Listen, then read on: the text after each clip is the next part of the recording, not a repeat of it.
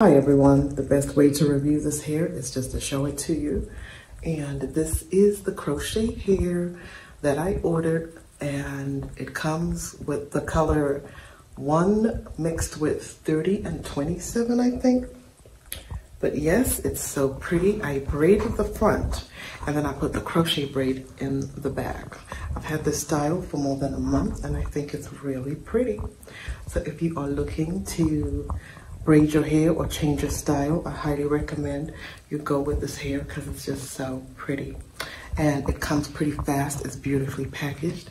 You're going to love it. And you can pick whatever color you want to. So definitely check it out. See? Pretty, right?